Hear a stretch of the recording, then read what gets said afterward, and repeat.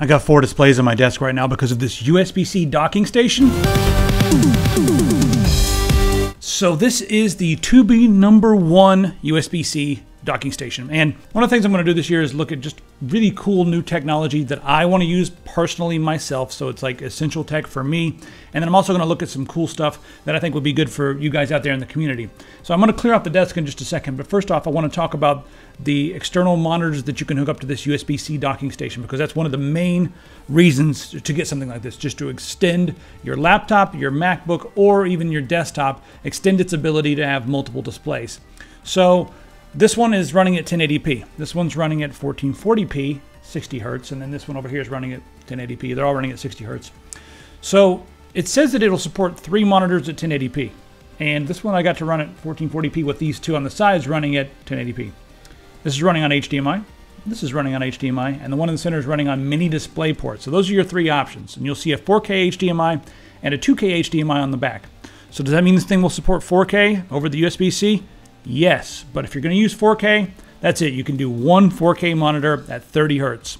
And then if you wanted to do two or three monitors, you'll have to bring it down to what they say 2K or 1080p or 1440p for one monitor, then, then 1080p for the other. So that'll be the limitations there. Oh, one other thing if you are worried about VGA support for the old legacy stuff and also projectors and stuff if you're giving presentations, they have included an HDMI to VGA adapter in the box. Another really cool thing.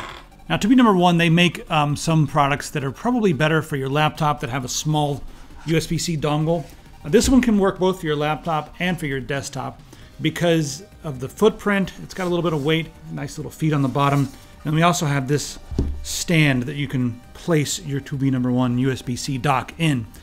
And um, so what I'm going to call the front here, because it has the uh, the port for the USB-C that goes to the PC. So here on the front, We've got USB uh, C, that's a powered port on top for things like phones and tablets and everything else. That's a combo headphone and microphone jack.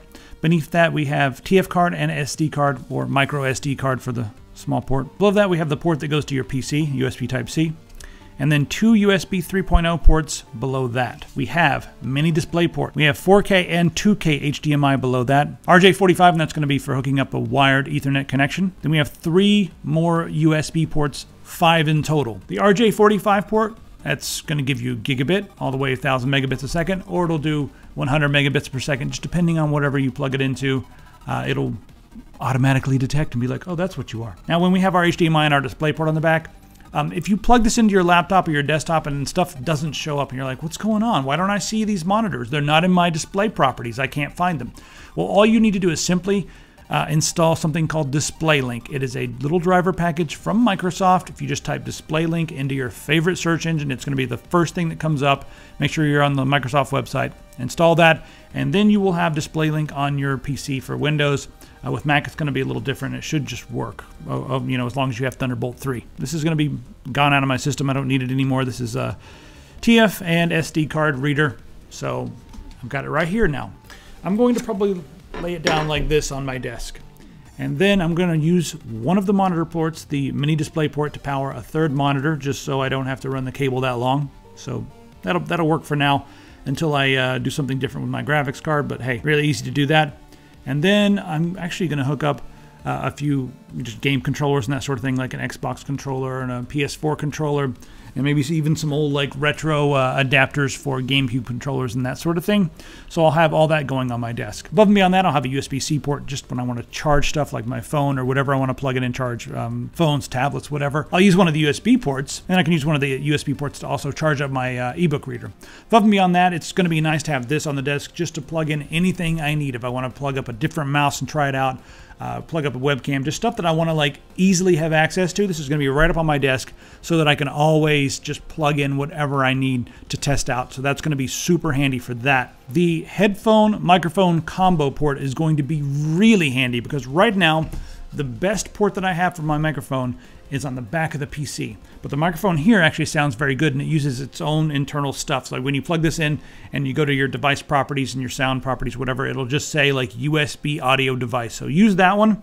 And I'm actually going to plug up my external microphone right here. My uh, I've got a ModMic. Just plug it up right here to this so that it's on my desk don't have to plug it in behind my motherboard where the best port is. So this is going to help a lot. With our five USB 3.0 ports, you're going to have five gigabits per second of bandwidth just to work with right there. So that's a lot of transfer speed. Plug up your different hard drives and that sort of thing and just be happy. It'd be great for when I'm, you know, coming home with an external drive. Just want to plug it in right there on top of my desk and it's you know I know I'm going to get like really fast speeds and I don't need to plug it into the you know the computer in the floor. So that's going to be nice and easy. And then when it comes to your SD card and uh, your micro SD card you're going to get up to 300 megabytes a second of transfer speed there. So that's super fast. Uh, but just know that if you're plugging them both in at the same time they're not going to run at that full speed. It's going to prioritize one over the other. So you know don't expect 300 parts 300 total in the you know the first one is that you're transferring is going to be the priority. So the dimensions of this item: uh, 7.5 inches by 3.4 inches by 0.8 inches thick, and it does have a little bit of weight at 1.3 pounds. That's probably about 0.7 or 0.8 kilograms for everybody else in the world, but that's just off the top of my head, so you guys can correct me. But 1.43 pounds. And then also with the rubber feet, it's not easy to slide around on your desk. And if you have several things plugged into it, including like controllers and stuff, it's not just going to fall off the desk or slide around. It's it's substantial. You know, this thing on the rubber feet is not going anywhere unless you like push it somewhere yourself. So this may be really good for someone who like has made their primary computer a, a, laptop or something. Like you know, you've got a computer like this, you've got a Lenovo Legion gaming laptop or something, and and you use this all the time. It's your main PC because it's fast, and you come home and you want some extra monitors and you want some stuff. You want like you've got your your mouse and your keyboard and everything all set up. All you do is just come home, plug up the USB-C to this, and you're done. It's essentially exactly what it is. It's a docking station. So you can, you know, you can take it with you or you can just leave it somewhere and have your setup, boom, three extra monitors, four displays in total if you want. Just have it ready to go. So that's one uh, cool way to use it. I'm going to use it with my main rig and maybe get another one to throw in the backpack, but they also have the, the different one with the USB-C dongle. So I might get that one to throw into the backpack to use on the go. But a docking station is just one of the handiest things that you guys can get. And I'm curious to know how you would use it. So let me know uh, in the comments below how would you guys use the 2B number one docking station. Also, let me know what you guys think of the uh, idea of just doing like videos on super handy tech gear that I use myself and think may be good for, for you guys out there. Last but not least, head over to epicpants.com and get yourself a t-shirt, a mouse, a keyboard, mouse pad, whatever. See you guys in the comments.